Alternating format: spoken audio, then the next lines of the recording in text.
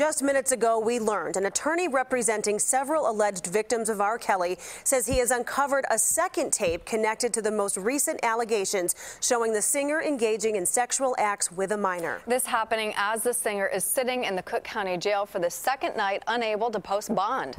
CBS 2's Vi Nguyen is live outside the jail with the latest developments. Hi, Vi.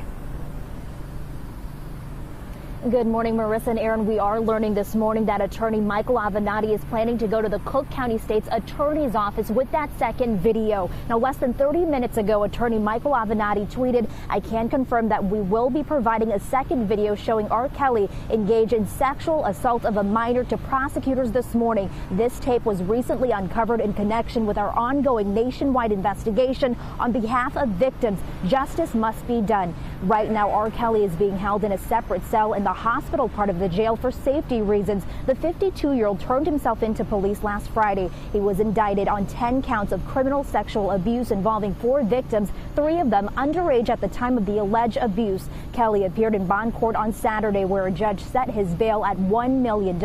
Greenberg admits in court the singer's finances are a mess, but says the reason why the singer hasn't been able to post bail, the timing of his arrest.